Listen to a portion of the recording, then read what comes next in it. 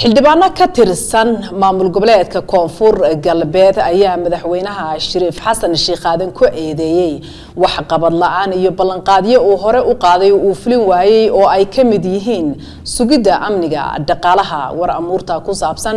Waxaa magaalada muqdisho inooga soo diray waryaheena ibraahim xaaji aadan kulankanay maanta iskugu yimaadeen xildhibaanada baarlamaanka koonfur galbeed ee soomaaliya siyaasiyiin iyo xubno ka tirsan baarlamaanka federaalka ayaa ujeedkiisu ahaa inay ka wada tashtaan xaalada koonfur galbeed ee wakhtigan marayso. Mudanayaasha munaasabada ka hadal jeediya ayaa madaxweynaha maamulka koonfur galbeed ee soomaaliya shariif xasan sheekh aadan waxay ku eedeeyeen inuu ka maridhelin waayay waxyaabihii uu ballan qaaday xilligii uu ahay musharaxa waxayna ku baaqeen inuu xilkiisa iska casilo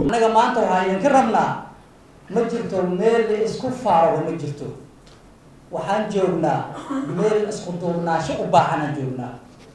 Waxaan ogsoonahay amniga awgiisa gaarigii magaalada muqdisho ka baxo inuusan gaari karin magaalada baydhabo. Amni diro awgeeda maamulka koonfur galbeed intaadan xildhibaan ka noqdo ka horba waa jirtay haddana waa jiri doontaa.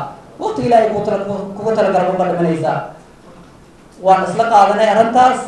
Insha allah ilaahay idankiisa mas'uulkan koonfur galbeed oo ku nagaan waayo magaalada baydhabo. Oo hafiiskiisa u noqday diyaaradda dusheeda waxaan rabnaa inaan meesha ka wareejino.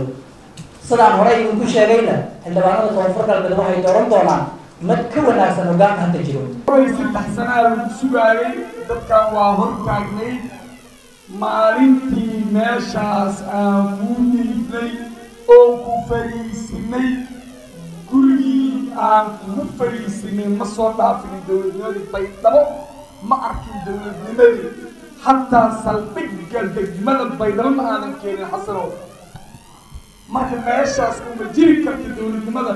Waxay u baahan tahay inay soo socoto oo iriddan gobolka banaadir oo joogna la keeno oo dhinacaas iridda kale jubbaland la geeyo oo dhankaas kale hirshabeelle la geeyo u baahan tahay lugaheeda. Waa xiran yihiin saddex sanay xiran yihiin lugahaas intaas ka badan saaxiibow ka xirnaan karaan intaanaa kuugu filan ma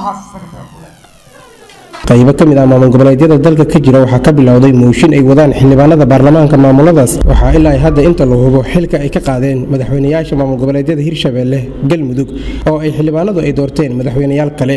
Waxaana hadda ku soo biiray maamulka koonfur galbeed oo xildhibaano ka tirsan ay mooshin ay ka keeneen madaxweynaha maamulka koonfur galbeed shariif xasan sheekh aadan ibraahim xaaji yuusuf r t n t v